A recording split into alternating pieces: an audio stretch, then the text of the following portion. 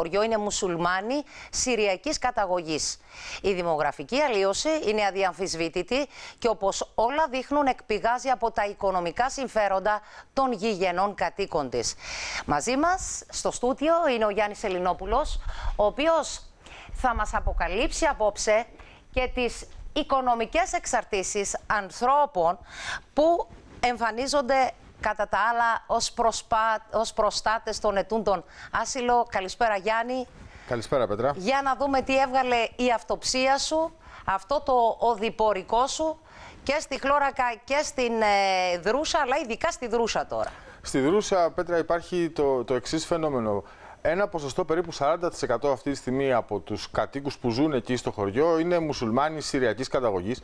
Είναι φιλιρινικοί άνθρωποι, δεν είναι άνθρωποι που προκαλούν προβλήματα και κυρίως ασχολούνται με την ε, οικοδομική βιομηχανία. Μάλιστα, τους είδαμε να φτιάχνουν και το δημόσιο νηπιαγωγείο του χωριού δίπλα από το. Και έτσι και αυτή είναι και η μεγάλη διαφορά με την περίπτωση της Χλώρακας. Ναι, δεν προκαλούν όπου προβλήματα. δεν υπάρχει καμία εγκληματικότητα, πλην όμως υπάρχει Υπάρχει μια μεγάλη δημογραφική αλλίωση. Σωστό είναι αυτό. Υπάρχει δημογραφική αλλίωση και αξίζει να δούμε το γιατί υπάρχει αυτή η δημογραφική αλλίωση. Ευθύνεται καθαρά η στάση που κρατούν οι γηγενεί κάτοικοι πέτρα του χωριού, οι οποίοι δεν μένουν μόνιμα εκεί. Πολλοί ζουν στο εξωτερικό, κάποιοι ζουν στην Κύπρο, οι οποίοι τι κάνουν; Αντί να επενδύσουν στον τουριστικό χαρακτήρα του χωριού, να φτιάξουν τα πατρικά τους σπίτια που γεννήθηκαν και να τα αξιοποιήσουν έτσι, αφού δεν ζουν μόνιμα εκεί, χωρίς να καταβάλουν καθόλου έξοδα συντήρησης τις περισσότερες φορές, όπως μας είπε και ο αντιπρόεδρος του Κοινοτικού Συμβουλίου της ε, Δρούσιας, ο κ. Παλατές, τα ενοικιάζουν σε σύρους ε, μετανάστες, έχοντας πέτρα και εξασφαλισμένο έτσι το ενίκιο. Διότι να υπενθυμίσουμε στους τηλεθεατές ότι για αυτούς τους ανθρώπους υπάρχει ε, επίδομα ενοικίου το οποίο καταβάλλεται από το κράτος. Άρα ε, βλέπουν ένα εγγυημένο εισόδημα μπροστά τους οι κάτοικοι του χωριού.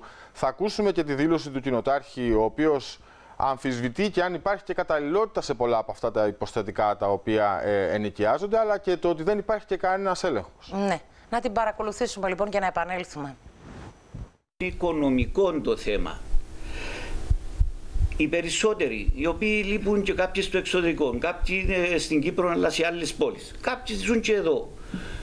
Πεθανίσκουν οι γονείς τους αντί να έρθει να σάσει το σπίτι τους γονιούς του, να μπορεί να έρχεται μια φορά το χρόνο, δύο φορές το χρόνο, βρίσκουν την εύκολη λύση, τον γιάζουν στους Σύριους, το οποίο το επίδομα το καταβάλει το κράτος. Ούτε κανένας ψάχνει ποιες είναι οι συνθήκες που βάζουν μες τα σπίτια τούν τους ανθρώπους. Έχει κάποιους που λέμε να πούμε μπορεί να βγάλουμε, ε, ήταν κοτέτσι να πούμε προηγουμένως και τώρα υπάρχουν μέσα κόσμος και ζει. Άρα λοιπόν οικονομικά συμφέροντα αυτή είναι μια πτυχή, ένας τρόπος με τον οποίο κάποιοι διασφαλίζουν εισοδήματα και συντηρούν ή αν θέλεις δεν ενοχλούνται ή δεν αντιδρούν στα ζητήματα του μεταναστευτικού. Όμως στην περίπτωση της Δένιας υπάρχουν, της Ρούσιας, ε, υπάρχουν στοιχεία τα οποία καταδεικνύουν με τον πιο αδιάψευστο τρόπο ότι το χωριό δημογραφικά έχει αλλοιωθεί.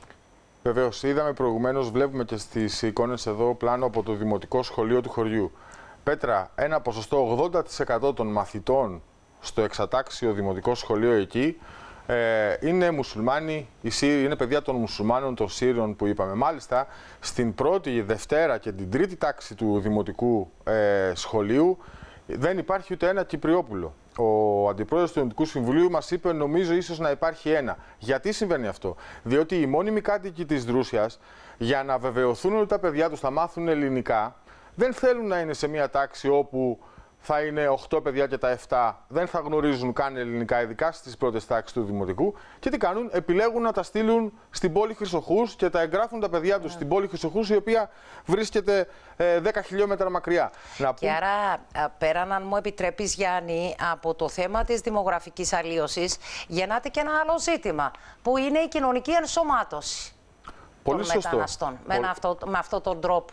Χάνεται και αυτό το, το στοιχείο που θα μπορούσε να βοηθήσει στο να δημιουργηθούν δεσμοί ε, φιλίας και συνεργασίας μεταναστών και κατοίκων, ε, γηγενών κατοίκων. Πολύ ορθά. Και να πούμε ότι είναι και ένα θέμα το οποίο ειλικρινά εγώ διερωτώ με τους δασκάλους που στέλνει το Υπουργείο Παιδείας εκεί για να μάθουν στην πρώτη και στη δευτέρα τάξη του Δημοτικού ελληνικά στα παιδάκια που δεν μιλούν ελληνικά. Ε, με, με, με, ποιο, με ποια προσπάθεια και πόση προσπάθεια καταβάλουν για να μπορέσουν να τους δώσουν αυτά τα εφόδια για να προχωρήσουν.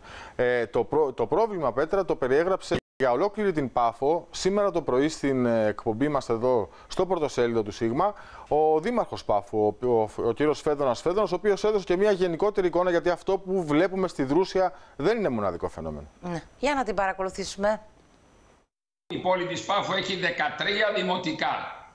Όταν σε 5 δημοτικά της πόλης, 6, 5, 5 με 6 δημοτικά, ο πληθυσμός των μαθητών που έχουν μεταναστευτικό βιογραφικό είναι πέραν του 50% έως και 90% ξεκινάει από το 50% Τεράστια. οι μαθητές που δεν είναι Ελληνοκύπροι και φτάνει το 90%. Την ίδια ώρα, τα τελευταία δύο χρόνια με τρία, σε τουλάχιστον α, 30 τμήματα, 40 τμήματα διδασκαλίας, δημοτικού και γυμνασίου, η ελληνοφωνία περιορίζεται στο 70%. Όμως θα, θα πάμε να ξετυλίξουμε το κουβάρι, αυτό που λέγαμε των οικονομικών εξαρτήσεων, των σχέσεων, των ΜΚΟ, των ανθρώπων πίσω από αυτές τις ΜΚΟ, γιατί έχεις να μας δώσεις έτσι αποκαλυπτικά στοιχεία, τουλάχιστον για τη χλώρακα. Ναι, είδαμε προηγουμένως την κατάσταση πώς είναι. Αυτοί οι άνθρωποι ερχόντουσαν εδώ, είχαν βοήθεια από κάποιους για να μπαίνουν σε αυτό το κτηριακό συγκρότημα. Οφείλουμε, Πέτρα, να φέρουμε στο φως μια. Αναφέρουμε το κτηριακό συγκρότημα, το Σεντ Νίκολας, έτσι, το στην Χλώρακα. Το οποίο ανήκει στην ε, εταιρεία, ανήκε στην εταιρεία ε, Παναρέτη. Η εταιρεία Παναρέτη λοιπόν ως ε, εκπρόσωπο της δικηγόρο της στα δικαστήρια είχε την σύζυγο του Προέδρου της κίνησης ε, για ισότητα και αντιρατσισμό, της γνωστής ως Κίσα, ε, στην οποία πρόεδρος ήταν ο κύριος Δώρος ε, Πολυκάρπου. Η οποία Κίσα, να πούμε, ήταν μη κυβερνητική οργάνωση, η οποία είχε διαγραφεί από το Μητρό, διότι δεν υπέβαλε τα οικονομικά δεδομένα που τις ζητούσε το Υπουργείο Εσωτερικών ως όφιλε βάσει της νομοθεσίας για να υπάρχει διαφάνεια και οι πληροφορίες λένε ότι έχει εγγραφεί μη κερδοσκοπική εταιρεία πάλι, με την ίδια απονημία Κίσα και είναι εδώ που θα πρέπει να δοθούν και εξηγήσεις. Ποιοι ενέγραψαν αυτή την εταιρεία, με ποιο σκοπό ενέγραψαν αυτή την, την, την, την εταιρεία, της οποίας κάποτε επικεφαλής ήταν ο κύριος Πολυκάρπου, του οποίου η σύζυγος εμφανίζεται ως η δικηγόρος του, του συγκροτήματος που μετατράπηκε σε σύγχρονη φαβέλα. Κατά τα άλλα, προστατεύουμε τα δικαιώματα, λένε, των μεταναστών. Έτσι. Και υπάρχει ένα ε, μείζον ηθικό θέμα το οποίο γεννάται εδώ, Πέτρα. Νομίζω μπορούμε να δούμε το ντοκουμέντο με την ε, φωτογραφία ε, όπου φαίνεται στην απόφαση του Διοικητικού Δικαστηρίου, είναι η πρώτη φωτογραφία, όπου φαίνεται ότι η κυρία... Θα μας βοηθήσει ο αγαπημένος Στέλιος Χατσιμάρκου να μας δώσει λοιπόν το έγγραφο εκείνο που αποδεικνύει ότι, η κυρία Νικολέτα Χαραλαμπίδου ήταν δικηγόρος ε, του Της εταιρείας Αλφα Παναρέτη Public Limited άσκησε έφεση σε ποια απόφαση, Πέτρα, στην απόφαση του Διοικητικού Δικαστηρίου. Εδώ βλέπουμε το αίτημα αυτή τη στιγμή, ε, το οποίο στην ουσία τι αφορά, αφορά στο ότι θα έπρεπε να ακυρωθεί η απόφαση του Διοικητικού Δικαστηρίου και ότι είναι κατάλληλο δηλαδή εκείνο το κτηριακό συγκρότημα το οποίο είδαμε και προηγουμένως είναι κατάλληλο για να συνεχίσει να λειτουργεί. Η κυρία Νικολάτα Χαραλαμπίδου, λοιπόν, η σύζυγος του κυρίου Πολυκάρπου, εκπροσώπησε την εταιρεία αυτή και προσπάθησε να το κάνει αυτό δυνατό. Βέβαια, το διοικητικό ε, δικαστήριο,